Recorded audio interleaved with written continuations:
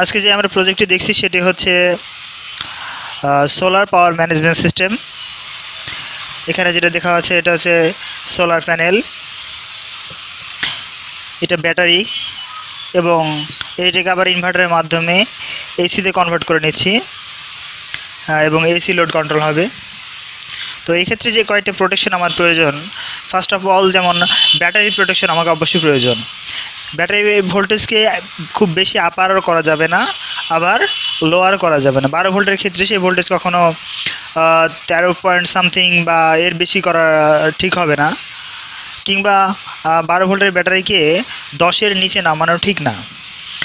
তো এই প্রোটেকশনটি এখানে ডিজাইন করা আছে। একই সাথে যদি আমার এসি সেকশনে যেখানে আমাদের লোড কন্ট্রোল হবে, সেখানে যদি প্রত্যাশিত পাওয়ার চেয়ে এক্সেস পাওয়ার নিয়ে থাকে শর্ট সার্কিট যেটা বলা হয়, যদি এই ধরনের কিছু ঘটে থাকে, তাহলে সঙ্গে সঙ্গে সেটা আমাদের ট্রিপ করে দেবে। আর এখানে আমি যেটা দেখতেছি, সেটা হচ্ছে থ্রেশোল্ড ভোল্টেজ সিলেকশন যে আমার ব্যাটারিকে কত ভোল্টেজ আমি ট্রিপ করাতে চাই। কত ভোল্টেজ হলে আর পাওয়ার হচ্ছে সোলারতে গ্রহণ করবে না। এটা সিলেক্ট করার জন্য এখানে একটা ভেরিয়েবল পোর্ট দেওয়া হয়েছে। আমরা দেখছি যে যখন এখানে দেওয়া আছে একটু ডিসপ্লের দিকে লক্ষ্য করি।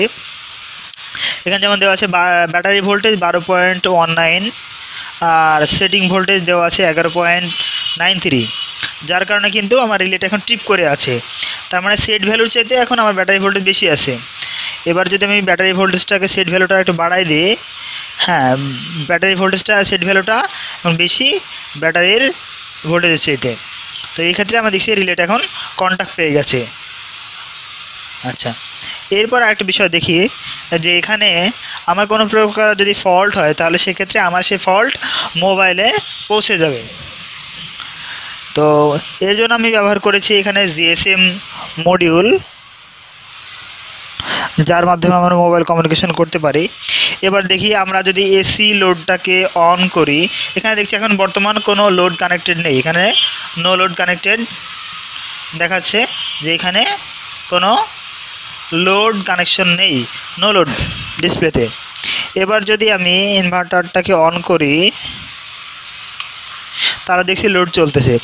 এবার লেখা আছে লোড কানেক্টেড এক্ষেত্রে কোনোভাবে যদি এক্সেস লোড আমি একটা লোডকে পারমিট করেছি, যদি আমি দুইটা লোড দেই, তাহলে সঙ্গে সঙ্গে আমার লাইনটা টিপ করবে এবং একটা সাউন্ড বেজে উঠবে। তাহলে দেখি একটু।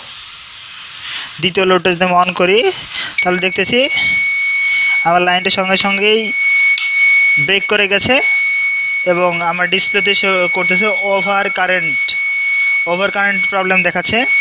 এবং একই সাথে আমাদের যে ফোনে আমি দেখতে পাচ্ছি যে আমার মেসেজ এসেছে, একবার যদি ফল্ট হয়ে যায় তাহলে অবশ্যই আমাকে নতুন করে রিসেট দিয়ে নিতে হবে। এবং যদি এখানে লোয়ার ভোল্টেজ হয়ে যায়, তাহলে সেক্ষেত্রে সেম একই ধরনের আমার অপশন এখানে মেসেজ চলে আসবে যে, ও লোয়ার ভোল্টেজের কারণে আমার লাইনটা ট্রিপ করা হয়েছে।